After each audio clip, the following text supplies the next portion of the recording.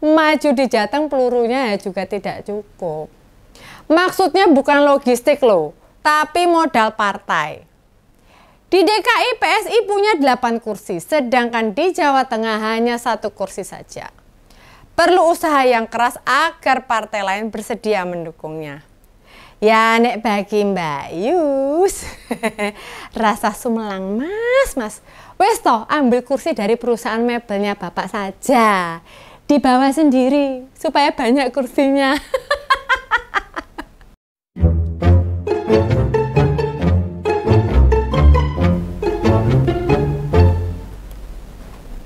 Hai hai, ketemu lagi bersama Mbak Yus di ngos-ngosan ngopini santai. Nah, tiga partai politik anggota Koalisi Indonesia Maju, Golkar, Gerindra, dan Partai Amanat Nasional memastikan akan mendukung Kapolda Jawa Tengah yaitu Irjen Ahmad Lutfi untuk Pilgub Jateng. Kepastian itu disampaikan jelang pendaftaran calon kepala daerah.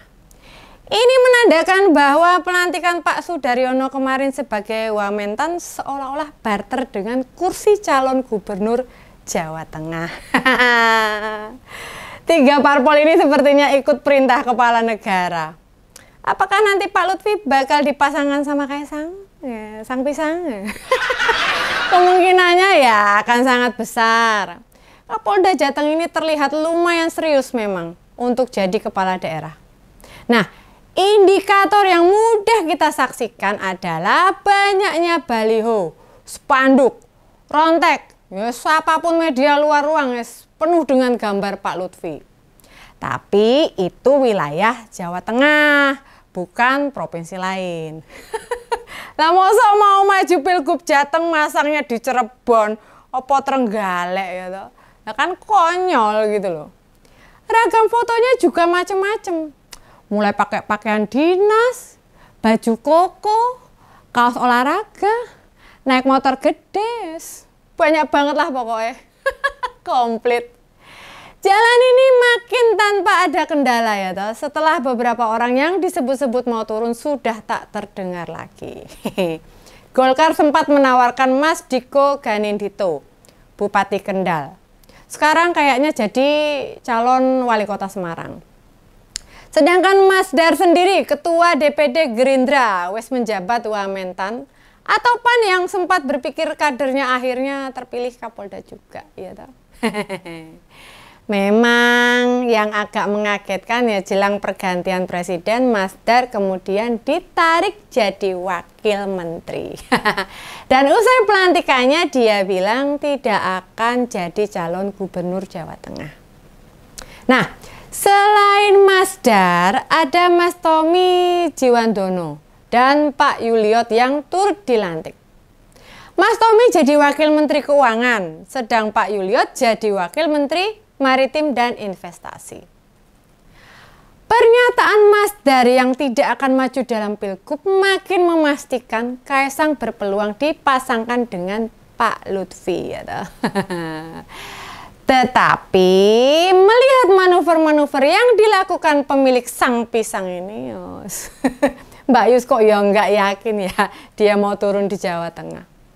Kenapa? Ada banyak indikator yang bisa disodorkan mengapa kemungkinan pamannya Jan Etes itu beneran mau.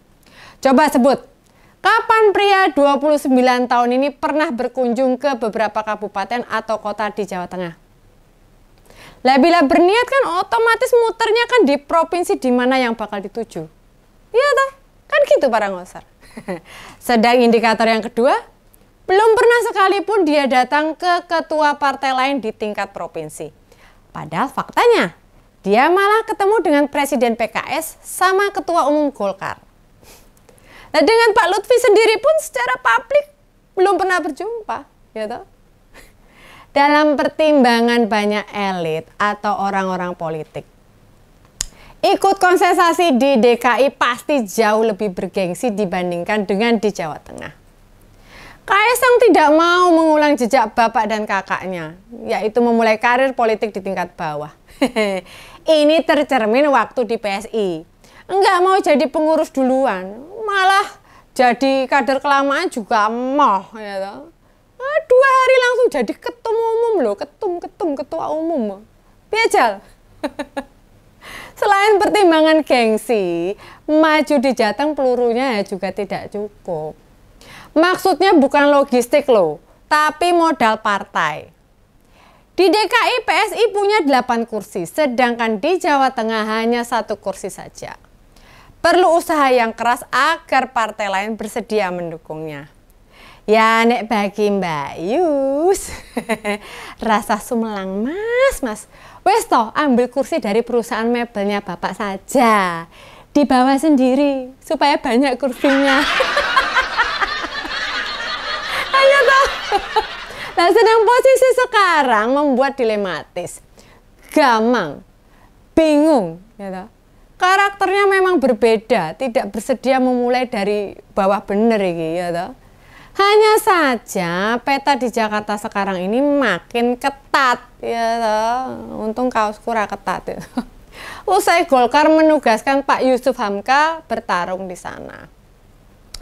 Westo, walaupun sempat tersebar gambar dia berpasangan sama Mas Budi Satrio, petinggi Gerindra itu, Kaisang itu nggak mau jadi orang nomor dua termasuk tidak mau memimpin di daerah yang tidak bergengsi, termasuk kayak Jawa Tengah. Ya Bapaknya sudah bantu menyingkirkan salah satu batu besar di Jateng. Kakaknya juga sudah siap bantu, lawung sudah mundur dari wali kota ya. Kemarin resik-resik ya, sing diresiki jebule dolanane tok ning kantor. Jebule. Kemauan keras ragil Pak Jokowi ini membuat keluarga itu berpikir keras ya toh, agar bisa tetap masuk di kontestasi Jakarta dan punya posisi calon gubernur. Maju dari dukungan PKS hampir tidak mungkin sebab mereka sudah menetapkan nama Pak Anies toh. Partai lain ya juga realistis tidak akan mengusung calon yang tidak punya kemampuan baik. Nah, di samping itu, hasil survei elektabilitas di DKI juga rendah. Memaksa bertarung di Jakarta hanya akan jadi bulan-bulanan saja. Gitu. Keluarga istana pasti sedang mengatur strategi lain agar jalan bisa terbuka lebar. Sedang kendala dari aspek hukum sudah disingkirkan. Pasca putusan MA yang membolehkan kandidat berusia 30 tahun saat dilantik. Ini gitu. oh iya, ada satu jalan yang masih mungkin diraih, yakni dengan mengajak PKB dan Nasdem. Kursi PKB di Jakarta ada 10, ditambah PSI 8 dan Nasdem 11. Nah, itu sudah lebih dari cukup. Coba kita pantau dalam satu atau dua minggu ini ya toh. Bila Caimin dan Pak Suryo Paloh tiba-tiba diundang ke istana, hai, maka prediksi Mbak Yus bisa jadi benar, ya kan? Banyak sih netizen yang bilang, di DKI atau Jateng, kesempatan suami Mbak Erina nyaris terkunci ya toh. Nggak bisa masuk. kesempatan jadi kepala daerah ya hanya ada di sini, di Solo ya toh. Pertanyaannya, emang Kaisang mau? ya jangan tanya Mbak Yus gitu. nggak bakalan diri, dirinya mau ya toh, nggak bakalan. Karena dirinya merasa jauh lebih baik dibanding Jokowi maupun Gibran sehingga jadi kepala daerah tingkat kabupaten atau kota bakal ditolaknya ya toh. Ditambah posisinya sekarang kan ketua umum PSI barangkali bapaknya juga sudah pusing banyak sekali kemauannya. Lawang pas pemilu saja loh, duit lebih dari 100 miliar dikeluarkan PSI yo gagal masuk Senayan. Masa mau maksa ngeluarin duit gede lagi buat pilkada? Paling nanti jalan terakhir yang minta jadi menterinya Pak Prabowo. Itu udah jauh lebih mudah. Toh ada kakaknya di sana. Jadi bisa dibantuin gimana caranya bekerja di pemerintahan. Ya toh? Mumet lah. Timbang mumet-mumet. Para ngosernya Mbak Yus jangan lupa.